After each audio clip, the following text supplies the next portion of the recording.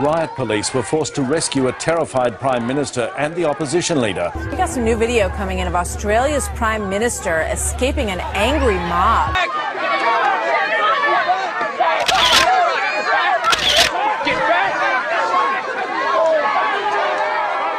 This is pretty much the, um, the, the position where the picture was taken or where I took the, the picture.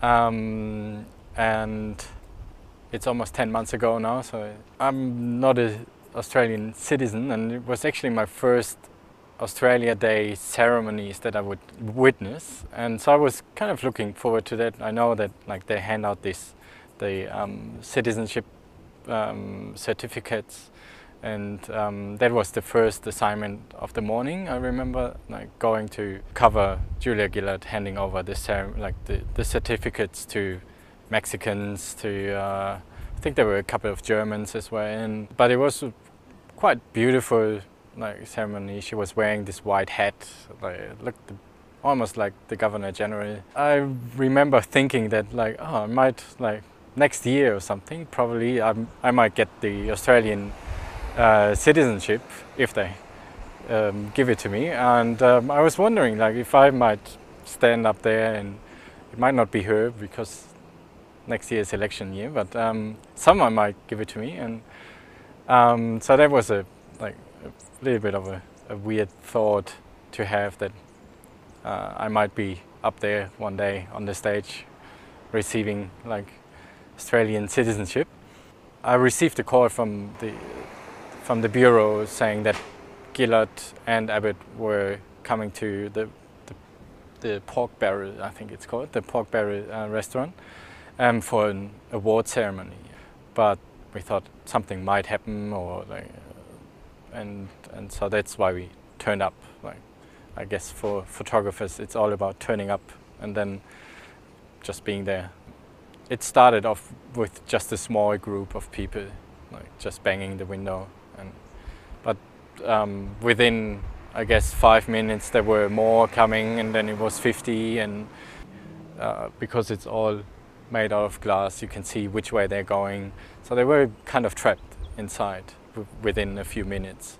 The prime minister's car, like, was brought in just over here, um, just seconds or a few like moments before they actually left. So I saw the car, and I thought that probably means they're gonna come this this way out, and and I jumped through this hedge of bamboo um, just next to the uh, the stairway, and um, and started taking pictures.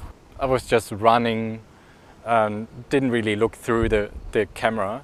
I saw the the police, the officer with the shield, um, and I thought I have to get a get around him in order to get a picture. I had a sense that probably that last picture uh, when I got around the the um, the police officer was was uh, good.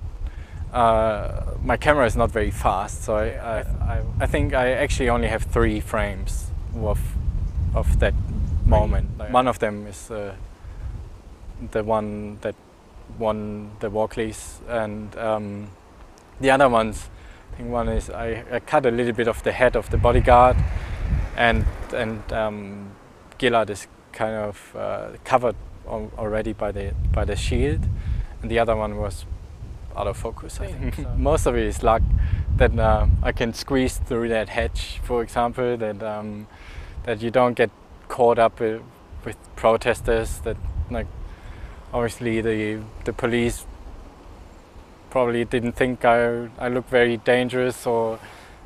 I only realized uh, when I was sitting in the car going through like I had already sent this picture and was going through the through the the rest of the frames uh, that I realized that she that I had pictures of her losing her shoe. I thought it's it's a bit of um, it has a bit of the fairy tales. So um, Cinderella, yeah, losing her shoe, and and the whole um, glass house idea. Like you, you shouldn't. In German, there's a uh, a saying you should you shouldn't sit in a glass house and throw with stones. Um, Uh, so th- there, I thought it's a lot of lot of like fairy tailing around, and and and and I guess that's why it was picked up. I don't know it, it, the the event like the the Walkley dinner is it's a very long event, a lot of prizes. Like I think over thirty. I realized I was announced, but then I I can't really remember what they said about the picture or not. I just walked the aisle and then it's you- you're literally on stage for a second, shake a hand, shake a hand, made sure that uh, Alan got his picture, and um, and then you walked off the stage, and that's it. So it's it's a very, it's even shorter uh, than the event here, which was uh, quite short already.